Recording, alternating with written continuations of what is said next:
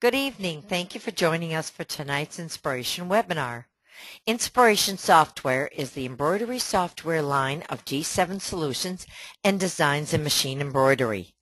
Our Inspiration Software line includes My Block Piecer, My Quilt Embellisher, My Perfect Embroidery Pro, and Perfect Stitch Viewer. Tonight's webinar features Our Perfect Embroidery Pro and Texting with Perfection. We have a wonderful team assisting us tonight. Dory, manager of the tech support, with Nancy R. And I would like to introduce you to our longtime family member, Katherine Artines. Katherine is the author of several books and many articles in designs and machine embroidery and loves to play with Perfect Embroidery Pro. So with no further ado, digitize away, Katherine. Good evening.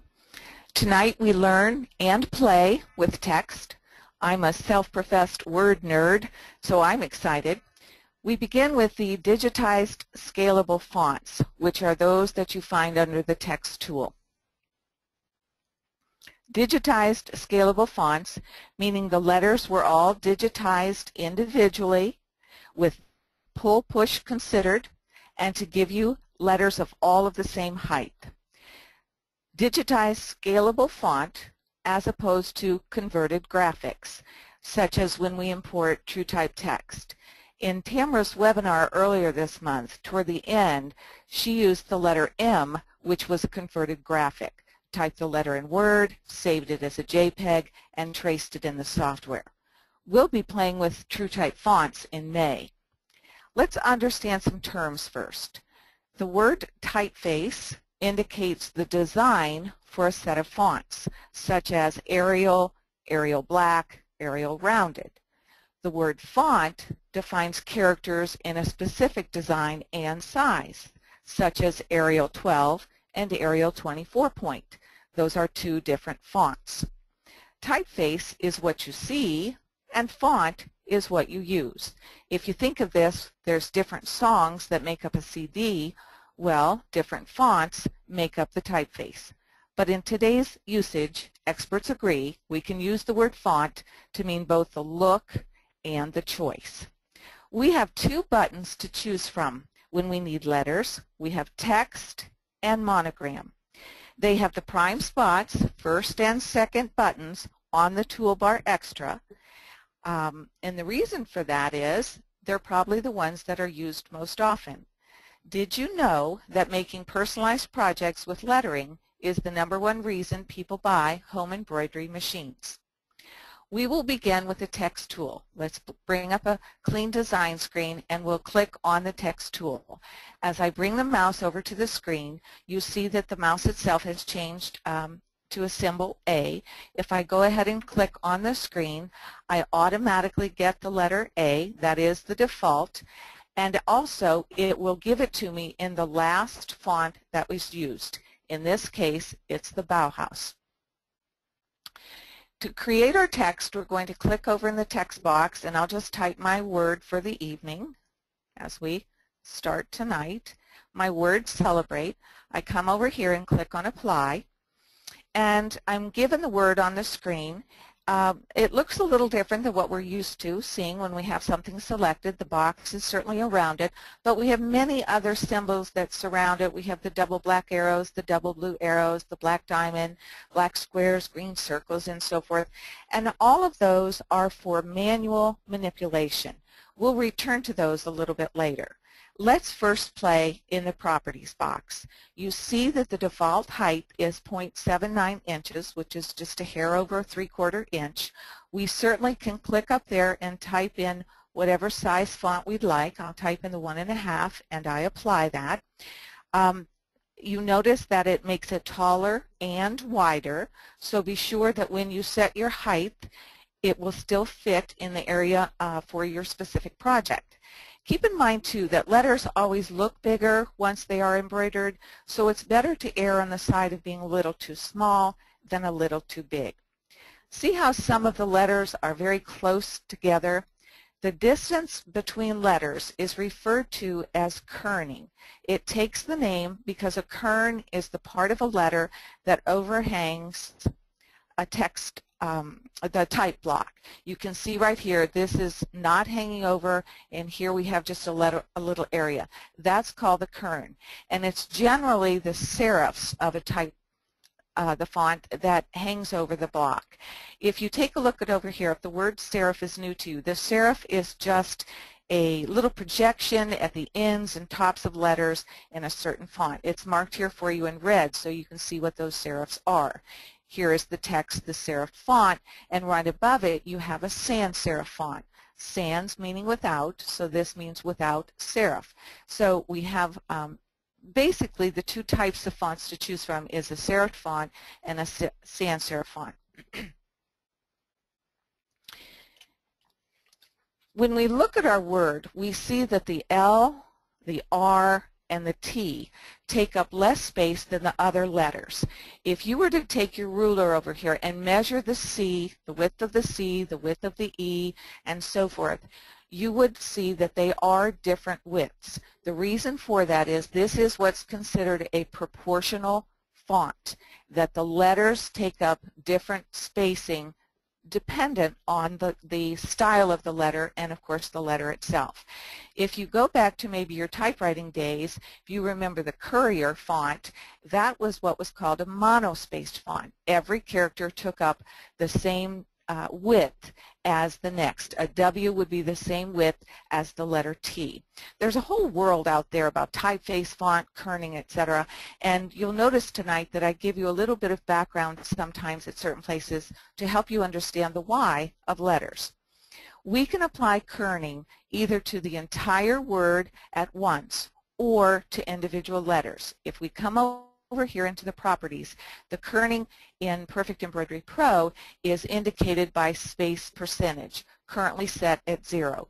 If I type a 5 in there for percentage and apply it, I see that a, uh, a, bit of white space has been added between the characters. If I come over here and put in 10% and apply that, obviously we're going to see more white space in between all the, all of the letters. And again, that's what's happening. The same amount of white space or kerning is being added to all the letters in the word. I'm going to come back there and put zero back in to put it back the way it was. You also notice that as you kern, it, the letter or the uh, word itself is going to be longer. But there might be a place where we don't necessarily need to add the kerning all the way across to the word. So we have the option to do so manually.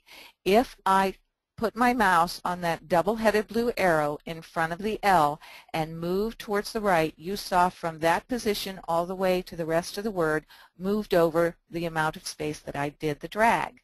I can do that here and there if I want a little bit extra space between some of those thin letters. And in doing so now, I seem to have some uneven white space, so I might want to rest on this black diamond. The black diamond is what's going to allow me to manipulate just that character and I can drag it over just a little bit.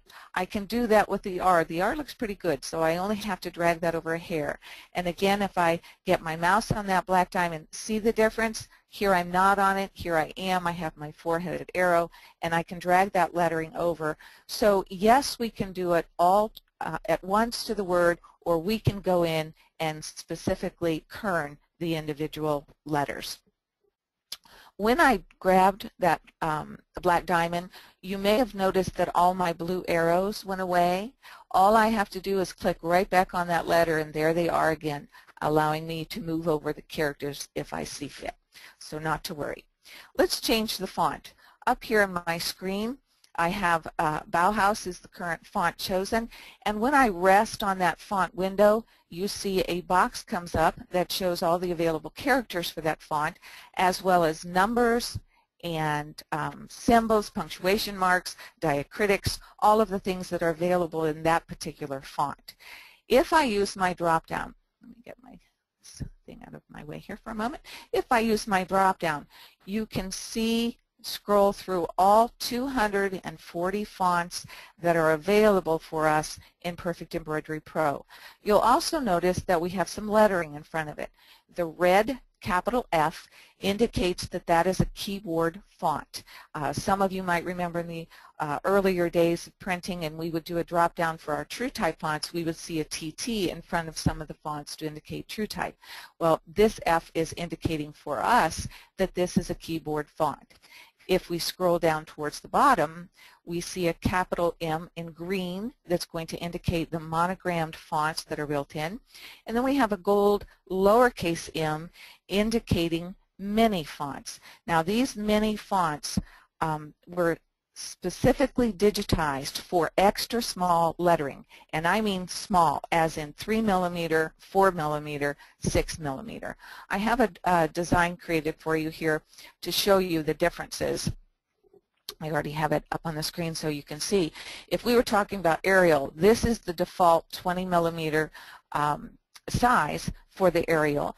If I were to take the small at 6 millimeter, small at 4 millimeter, and small at 3 millimeter, you see the difference here. Um, quite a difference with this really small 3 millimeter font.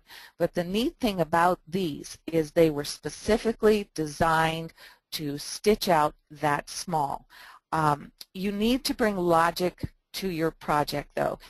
Even though we have these small fonts that we can use to embroider, you still have to bring logic to the project in that be aware of what type of fabric you're trying to do this very small embroidery on, what kind of stabilizer are you using. You certainly want to use a number 9 needle and um, most probably a 60 weight lightweight thread so that everything comes out as you intended to come out. we look back at our Celebrate and we talk about changing the font. I certainly can click on this drop-down arrow and I see my font up there in the window. I could, as I did just a moment ago, drag down with my mouse and make a selection, but realize that you can also, right now you see my mouse um, whoops, I'll move that down a little bit. But right now, I am using the down arrow on my keyboard, and you see that I am moving through those choices for the fonts. If I come down to cursive is what I'm after, um, on the keyboard, I am hitting my Enter key, and that applied the cursive font to my word Celebrate.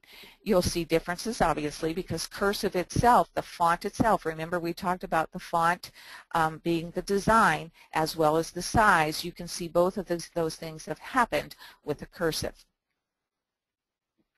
If I use my drop-down and I go and play with Farfel and apply it, you see and uh-oh, what's happened on my screen? Well, let's take a look up here at the font box. We have an indication here. Remember, we can rest on that, and in the available characters, we see that all we are offered is all caps, no lowercase. So it could not finish the word celebrate for us. Um, we can also tell that because there's no lower uh, lowercase letters up in the box. So if I come back instead from Farfel to maybe a Ross and apply that, you see that all my characters are back into place. We come back over to properties. Um, you probably have already played with this one, but just to make sure, if you click in the box for stairs and apply, you see that it does a very fun stair step to your characters. Uh, this will only happen if you have a one line of text. We can take the stairs out and apply the straight again. I'm going to come up here and change the size to 1.5 once again and apply that. And as I do, obviously, uh, we see that the word itself has gotten larger, an inch and a half tall. But what I want to show you here is the um, inconsistency in the satin stitch. The default for your text is satin. Um, satin is usually the prettier stitch, it's a more traditional stitch, but we have some limitation, if you will, when we use satin. And here's one of them. We have a full satin here, but then you see that you have a split satin in a lot of the other areas of the characters. You still have some satin here and there, but very much a split satin. And the reason for that can be found under our column page. We're interested now in this lower area of our um, properties box where it talks about split satin type.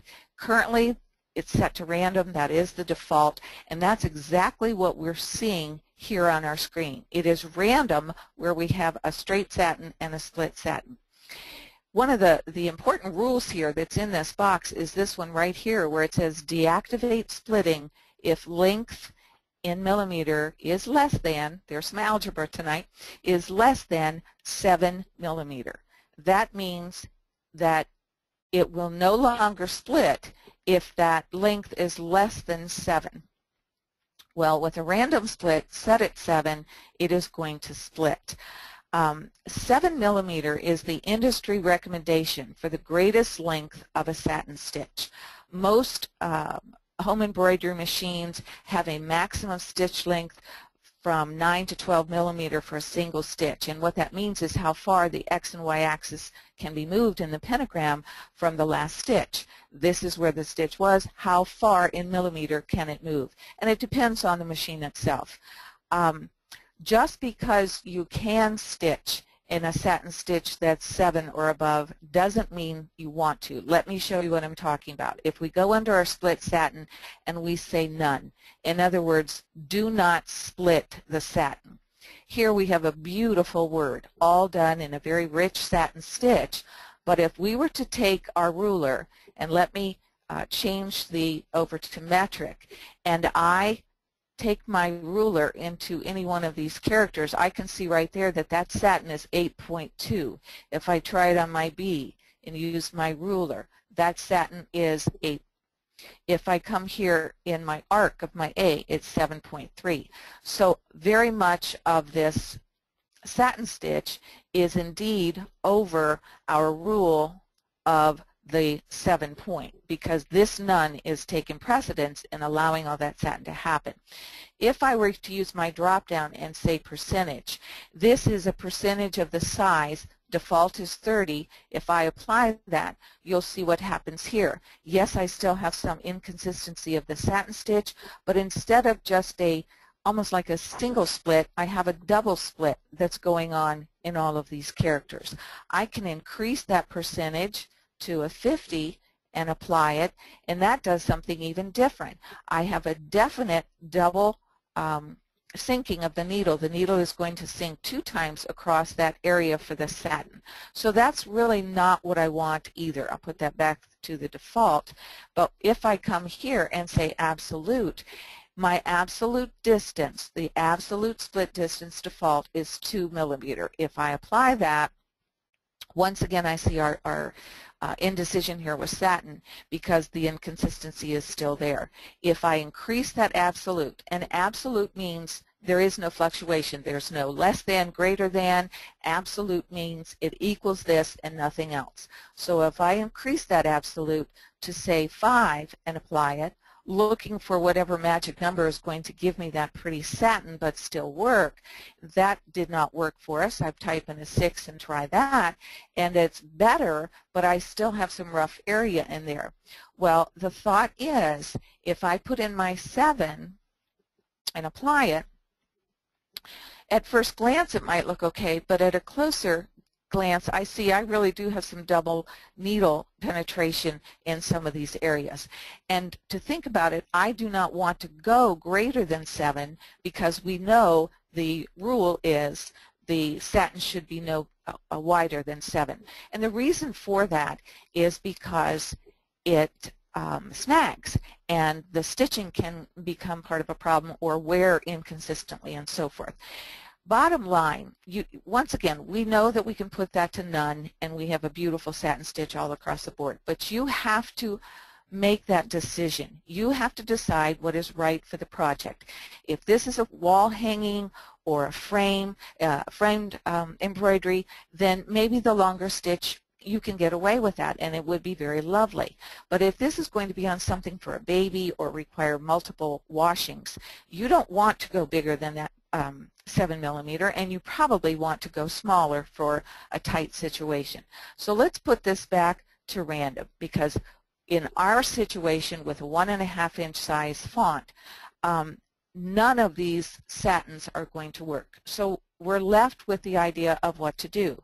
Well, one of the options certainly is we could come back here and make this a smaller letter, or you can go into your fill type and instead of having it be a satin fill, you can choose a fun fill, such as uh, this brick. I happen to like this look. Um, it's a little bit more modern, puts a little bit more playful feeling to your project, and plus it allows you to keep with a much larger font.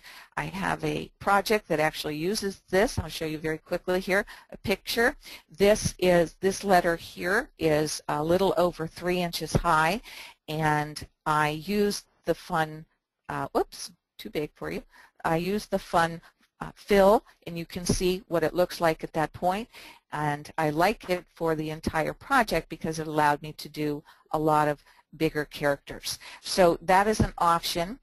Um, oops, let's close that one out. We're finished with that idea. This is an option, and if we go back in, there's a couple other ones that I think are kind of fun. The zigzag works, and so does the corn. So uh, again, you have an option. If you absolutely want satin, then we would have to go with a smaller size. If you want the larger size, then you might think to bring in some of your fill pattern. All right, as we go to one of our other properties, we'll come over here to our commands. And here we want to take a look at color. We have two areas here that um, talk to us about color. The first one is this one here, telling us color number one. And then we have a color change towards the bottom. And sometimes if someone is new to the software, they think that this color means how many colors I would be allowed to have in my Word. Well, if I up that to what I think is 4 and I apply it, what has actually happened is it has come down here into our uh, thread chart down here and chosen color number 4. If I come back up here and put it back to 1 and apply it, you'll see that it puts everything back to color number 1, which is blue. So that's just a, a precise way for you to pick a certain color. Um, if in on the other hand, we come down to our color change, this is usually what people are after, is to be able to change the individual characters. Because right now, this is one full text box. Whatever we do to the box affects all of the characters inside. So we could not individually choose our colors for the characters. This is the way that you want to do it. Come under color change, use your drop down, say characters, and apply. And this generally is what we're after, is to give our word individual color stops. Also, you can see that it changed automatically the trim. It is going to trim after every character. We only have one word up there, but you see that you could also apply colors to words or separate lines and so forth. So we'll leave it at characters. Um, if we take that manual, manual manipulation one step further, we can see, remember that we want the mouse on the black diamond. If I click, that one letter itself is selected. I can actually resize that character. If I click here, I can actually rotate the character and move it over a little bit. Uh, bring up the L, play with the E, rotate it maybe in the opposite way, uh, maybe make that a little smaller put my E where I want it to, bring my B up, rotate that, bring my R, and you see that you can go in and you can make the word look whatever way you'd like it to. And what we're doing, because I've used the word celebrate, I am trying to get the color and the characters themselves to give the feeling of the word celebrate. So you can have a lot of fun playing with the individual characters, um, getting a custom look for yourself and have fun with it. So you see that we then have made the word give the feeling of a celebration. We're going to open up another um, document that I already have, actually a design page that I've already created, so you didn't have to sit and watch, watch me type. And we see here that in this case, I have created a text box that has multiple lines to it. Celebrate was only one word, so we couldn't play with all of the properties. But here that I have three lines of text, we can do some other things to it. You also notice that I do have all caps in the second line. Uh, because of the font that's chosen, I've chosen the Hobo, they are very close together. So the first thing I probably would want to do is to change my spacing. I'll put that at 10%. That will spread that out a little bit, helping us to read it. Um, certainly, you want to make it as easy for your reader to read your text, your message. Um, that's the whole purpose behind typing text is so that the uh, user or reader can read your message. So we want to make it as easy for them to do that as possible. The other thing we want to address is um, the idea of what is called line spacing here in Perfect Embroidery Pro and in the printing world is referred to as leading. It's the amount of white space that um, shows up between your lines of text. It is this white space right in here between the rows. At first glance, it might look to you that this is uneven. Um, the amount of white space here looks less than the amount of white space that we have here. But really what we want to compare is the tops of the letters. These are called ascenders. Any of your letters like B's and D's and T's and L's and H's, they all have ascenders. So that amount of line spacing will be measured from the topmost um, letter to the bottom of the row ahead of it and so forth. The reason this is uh, technically called leading. Back in the typeset days when they were putting in their blocks of type, they would use bars of lead in between their rows of text to have no printing in that area. So the amount of bars that they put in, the number of leading bars that they put in indicated the leading. So that's where that term came from. Um, we can come over here to line spacing and change that 25% to 50% and apply it and you see that indeed that did increase the amount of white space here. We could go farther with that at 75. Again, it makes it easier to read, but you always have to think about how large is the area on your project that's going to accept all of this text. We come over to some other properties now that we have multiple lines. We see this property here called Align. The text is currently centered. If I click on the left and apply, it is going to give left, justification to these lines of text. And then obviously if I click on right and apply, it will come over and do right justification. Now in doing that, you can see uh, something that I did that I probably didn't want to do. See this white space here? My word the does not come all the way over to the right margin. That's because up in the text, when I was typing, I probably automatically put a space in between the word the and what I thought I was going to keep typing was leprechauns, and then went back and just hit my enter. So if on my keyboard I hit my delete key, I have removed that space, apply it now, you see that the text itself is right justified. I'm going to put it back to center and we will talk about um, the start at. this says start at left. This is talking about the order in which the um, text will embroider okay, the actual way it will stitch. Might be something you never even thought about before because most of the time you allow the stitching to happen from left to right because of course that's how we read. But we have options here. We could start it at the right or we could start it at the center. I'm going to leave it on center. And the reason you might want to do that is if you have a very long line of text, um, this start at center helps to tame the pull on the fabric. Watch what happens when I do this slow redraw, and I'm just going to draw it across for you. Do you see how it started in the middle of leprechauns, and it started in made me do it. So it actually is stitching from the center out on those lines of text. And again, the reason to do that might be um, if you need to help with the pull on your fabric. All right, if I then come to my other two boxes of text, the Fluent Blarney, if I click on this one, oops, um, put that back. And if I click on this one, you can see that this is one full block of text where I typed the um, separate lines, used my enter key. If I come over here, I can see that it's the same uh, um, phrase, but I have typed it in three different boxes. There will be times that you might want to use this trick so all of your text is in one box. If I'm over here, I know that I have to apply the same font to all of the words in this text box. There's no way around that. The one font applies to all. And I do have capital letters in here. So if I were going to apply the cursive font to all of this, the word Blarney would be almost impossible to read as I have typed it for you down here. Um, you want to be very careful in typing all caps in anything that is a cursive or a script font. It is just difficult to read and you don't want to do that to your users.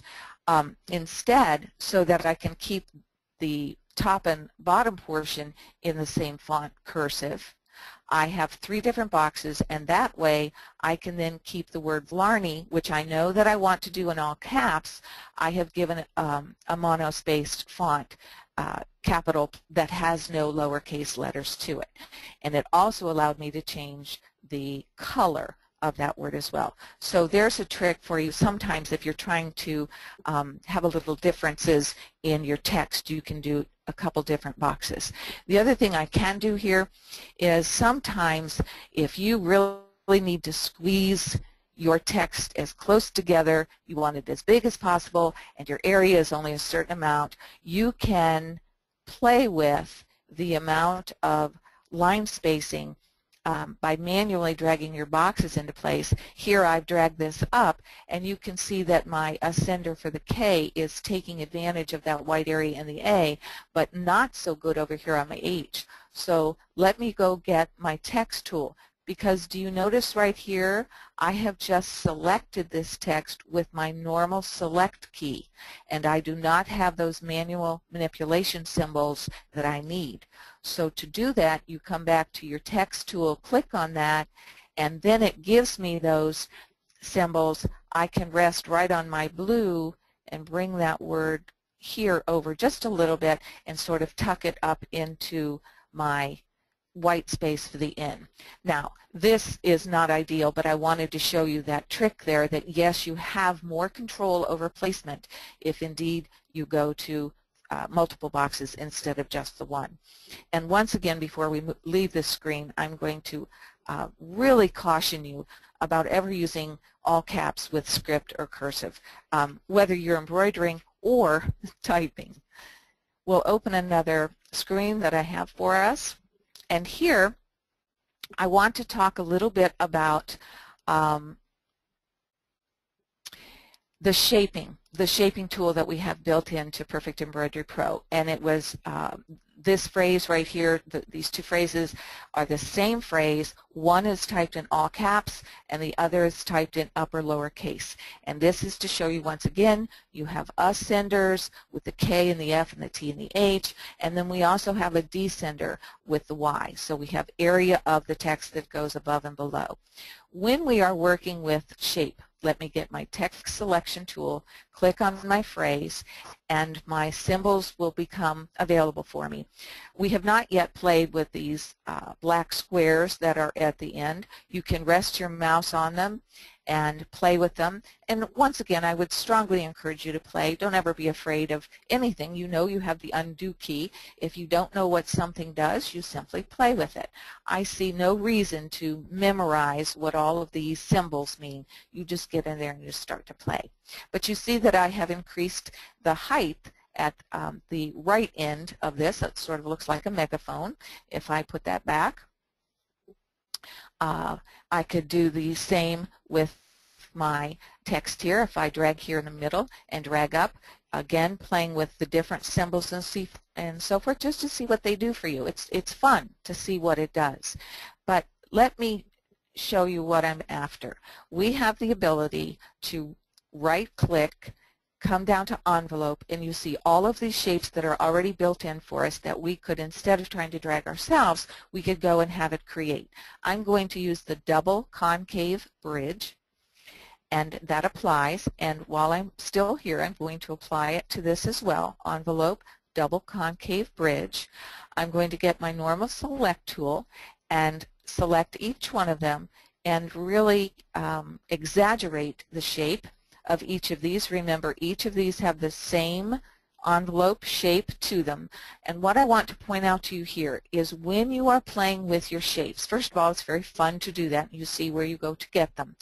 But look at the uh, phrase that's done in all caps. Do you see because all of the letters are the same height um, at the top, also at the bottom, although they will always be at the bottom, um, but at the top and the bottom, that your shape for that bridge is absolutely defined all the way throughout that phrase. If we were to look down here at the upper lowercase phrase, you see that it is not as strong to hold that shape because the letters themselves, all of them are not all there up at the top. They are not all there at the bottom because of the Y. am um, just going to show you very quickly when you work with your shapes, your better option is your all caps. Okay?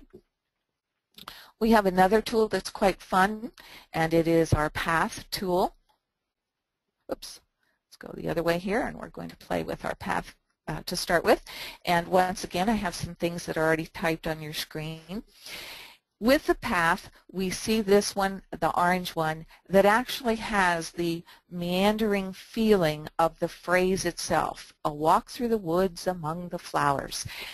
We do that by coming over here in our properties, and this property right here called type is set to path. If I were to change this one and I select my text, it is now normal. I come over right click and apply the path.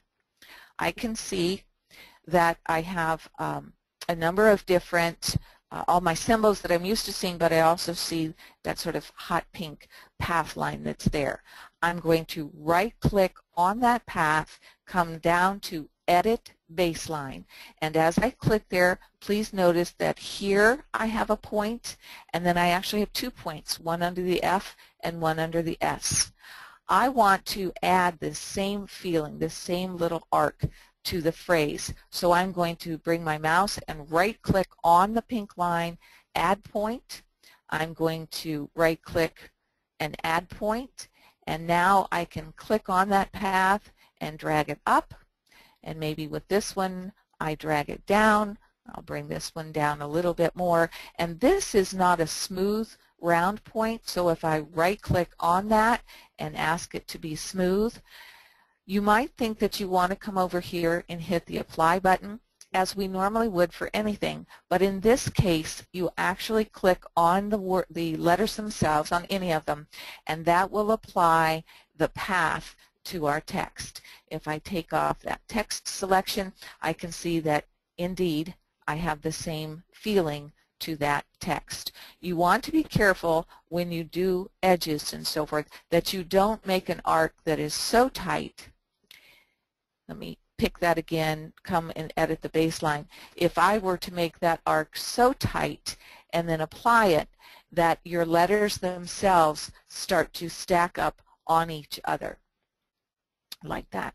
Okay, you want to avoid that if you can. Well, I'll just flat out say you want to avoid that. So we'll go ahead and do an uh, undo to get our, oops, not so far. We want our pretty path. Here's another example of a path. If I get my text selection tool and click on that, I can see that I do have my baseline. I'm going to right click, edit baseline, if you've never used the guidelines that are built in the ruler, I love these. I use them all the time. All you need to do is come up here. I have my mouse resting up there, and I just click and drag a horizontal line down here. I also want to come over to the left and click and drag from the ruler and bring a guideline over because I'd really like to straighten up this area that I have for my text. Let's use our magnifier and zoom in just a little bit and I'm going to get my points and uh, drag that right over to my vertical guideline I've put in. I can drag that down to my horizontal and I know that's straighter. I click on one of my letters and it will adjust and now I have uh, more of a falling in love feeling. If you are using those guidelines, uh, once you are finished, you simply come over to the ruler, right-click, remove guidelines, and they are gone. I love them. I use them a lot. So there is our path tool. We also have another fun tool, and it is the circle tool. I'm going to click on my text. I click anywhere on my screen. I'm going to come up into my text box and type the phrase that I'd like. Once again, I'm going to come down here to type and click on my drop down and ask for a circle and apply it. And when I do that, you see that Kiss Me has been applied in an arc, um, evenly spaced, and my height for my character is still my .79 we have a couple things uh, to be aware of when we type with our circle. First of all, I'm going to direct your attention to down here. I can't go there for the moment because down at the bottom left of your status bar, do you see where it reads, my radius is 2.05. If I actually bring my mouse down in there, it disappears. So I click back in my circle and see it again. But the radius is 2.05. A little math review for all of us. The radius is the distance from the center to the side of the inside circle. All right, from the center to the side of the inside circle. The diameter would be the full length from side to side. In other words, the diameter is twice the radius. If we take a look, we have lots of other symbols in our circle as well. Once again, I would encourage you to play. If I click on that center pink one and drag down, do you see that I am changing the radius? That inner circle is smaller. The characters themselves um, spread out, but the character is the same size as it was. So it's just making a tighter arc, um, a smaller radius. It's now a little over one inch.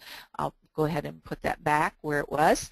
And if I rest on my goal circle and drag that down, you can see that the radius is staying the same, but my characters are getting smaller. Notice the height over here is 0.33, and the uh, outer circle is also getting smaller to fit the height of the characters. If I come over here to this gold circle and click and drag, you can see that this circle allows me to spread out the characters. They are no longer the um, in a, a proportion uh, as they were before. We have more white space between them and so forth. If we undo that, and then our final circle to play with is if we click on that and drag in, you see that it is no longer a perfect circle, but is moving towards an oval. So all of those are available to you. The question comes up frequently, um, what if I want my text not at the top of the circle, but at the bottom? This is very easy to do.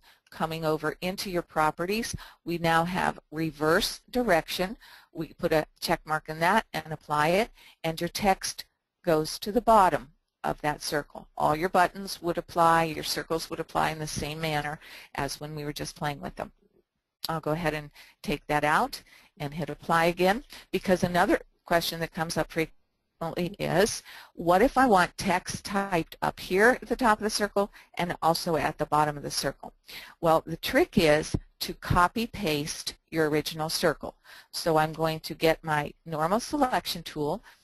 Notice that the circle goes away because I no longer have my text selection. I want to do a right-click copy, right-click paste. I know that Kiss Me is right on top of Kiss Me, so with my second circle selected, I'll do my reverse direction and apply. I know it's odd for the moment, I have the same text, but let me come over here and type in the rest of my phrase.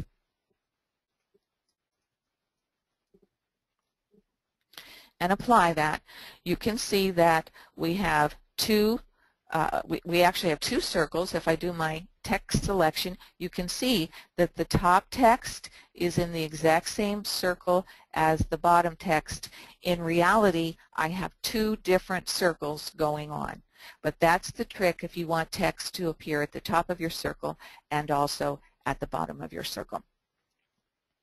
We could top that off, of course, with the holidays coming.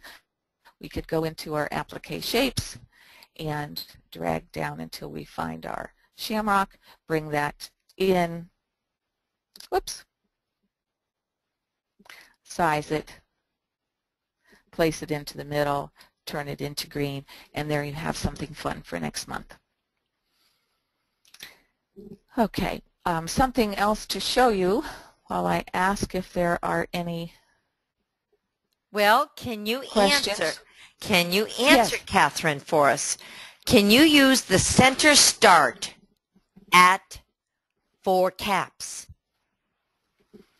At what, honey? I'm sorry, I didn't understand the question. Can I use the uh, start at center for what? For caps, capital letters. Yes, you can. If you, if I go back to this screen where we were playing, in this box, here's all my caps right there. And if I start that slow redraw, let me just allow it to play on its own, and you'll see that it's going, it starts at the middle here, the lowercase the, but the next row, this next row that's going to start, these are capital letters, so it is doing the capitals from the center position out towards the left, and then it will come back from center position and stitch out to the right. So yes, it does not matter if it's uppercase or lowercase, all caps, um, whatever your letters are, if you apply that, that's how it will stitch. All right. And can a colon be used in text lines? Um, very good question. If we go up in, in here, just because I have multiple lines, and I come over into this box, and let's say we just wanted a colon right there after leprechauns, I can do my apply, and we see that it is used, but remember that it is based on the font that you have chosen. Do you see that when I rest on hobo, down in this area right here, it shows the punctuation marks that are available for that particular font. So it's not so much the punctuation mark that's controlling it, it is the font that you have chosen and whether or not that font supports the punctuation marks. Okay. Okay? And how and you did, can see yeah, Mhm. go You ahead. can see right there, I changed to impact, and the impact, uh, the colon is still over here in my text box, but the colon is not showing here. That tells us that impact does not support the colon. Ah, very good. Do you have the ability to change the underlay for text? Yeah, you have it there. Um, if we come over to this, well, I say that confidently. Um, yes, that's that, that's the button I wanted. Uh, we come over here, you see that it is by default uh, chosen for the font. Again, I had Hobo, whether you have a different type of font chosen. You may notice different underlay, but yes, you have the option to change your different underlay um, as you determine would be necessary for your types of fabric and so forth. Okay, and last but not least, if you want the individual character different colors, how do you control the color assignment and how can you use the same color more than once in a line? Okay, little bit of trick here. Um, when we did that to our text and we were over in our color, I purposely put it back to number one knowing that I had 10 characters in my text. You may notice that it automatically added colors 9 and 10 because by default it's going to give us 8 character or uh, 8 colors in our thread chart. So if we wanted to deal with that, I could change the colors in a rainbow effect or a random, not random, but I could change the colors if I change the starting color. Let's put that back to 4. Remember 4 down here is my orange color. If I started at 4 and then apply, notice that the first color starts at orange, which was my chosen color right here, and then it goes down the thread chart. Please notice that it also added more colors because I needed 10 and um, by starting at 4 I needed the three additional colors. So now I have changed the palette.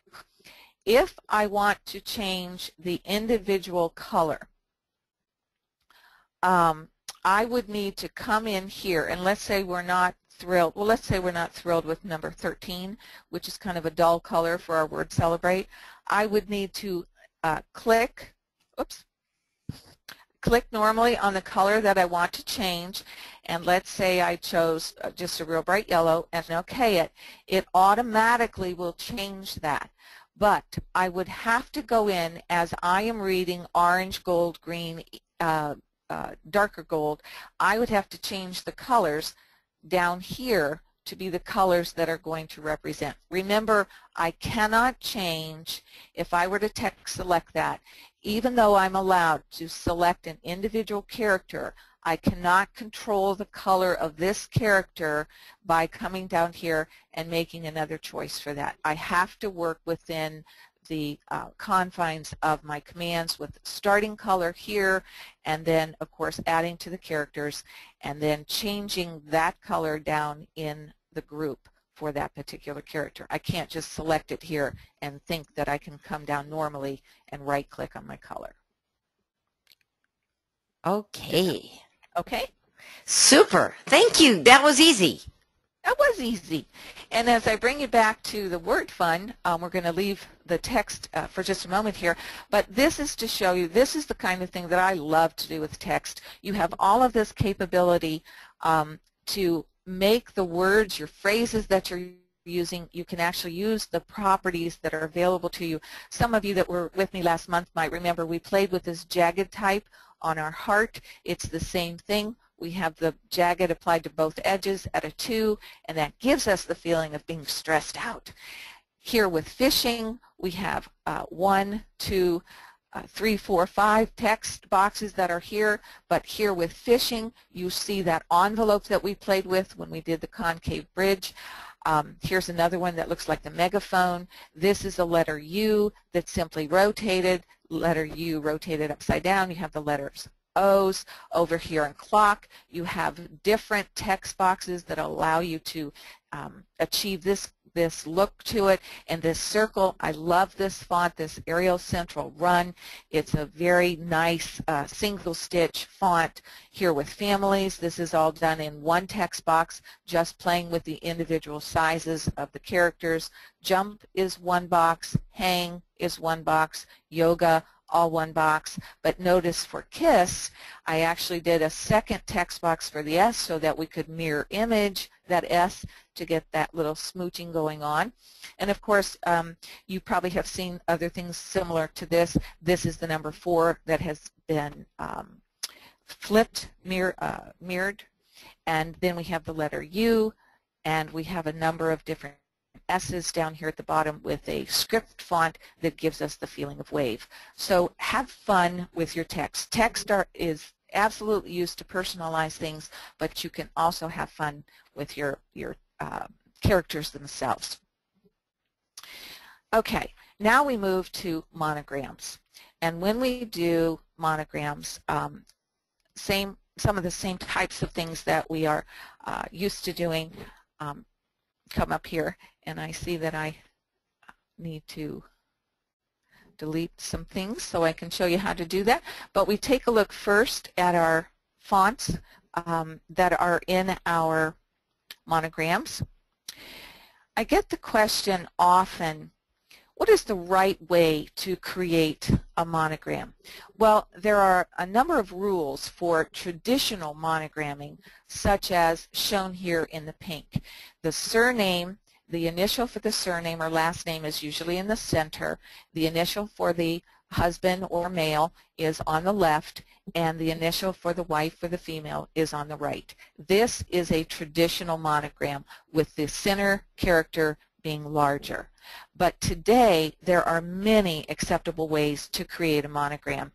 Um, for example, this one, the same characters, the P, the K, and the A, are used in this lower example, but I put the K on the right side, which is the female. The P is, I'm sorry, the K is on the left side, the P is on the right side, and then the A is extended, larger, but it looks like um, they're all one, when in essence they're really I haven't grouped at the moment, but if I ungroup them, you can see that they're really separate text boxes that are put together for more of an art look. So you have lots of option. When you create a monogram for someone else, whether it's a gift or in your business, you really want to think about the person you're creating it for. Are they traditional or are they funky or a little bit more modern? If you need more information, you want to visit Eileen's blog and click on monograms or just Google monograms. Tons of suggestions. Um, those of you that love Pinterest know that you can go there and find all kinds of fun things. All right, I'm going to uh, change my font here. Um, I'm going to show you two different ways to create a monogram. First thing we're going to do is go back to our text tool, and as I click on my text tool, the letter A comes up. I'm not happy with that font. I'm going to bring myself back to my uh, Bauhaus. I like this one a lot. And by the way, while I'm there, you might see that um, we have two fonts. You might think that those are the same, just one has an S in it. They're actually two, they're similar fonts, but they are different. The Bauhaus, without the S, has been digitized uh, specifically to be smaller, and the Baus, with the S, the Bauhaus, house, has been digitized to be um, a larger text. So they, you might think that they're the same, but they're not. There's another one that you'll also notice. It's Old English and Old English with it being abbreviated. Those are not the same either. So I'm going to choose this one and apply that. And I bring that down and I'll go ahead and uh, change my color by right-clicking on that. And if I come up in my text box and type those characters, oops,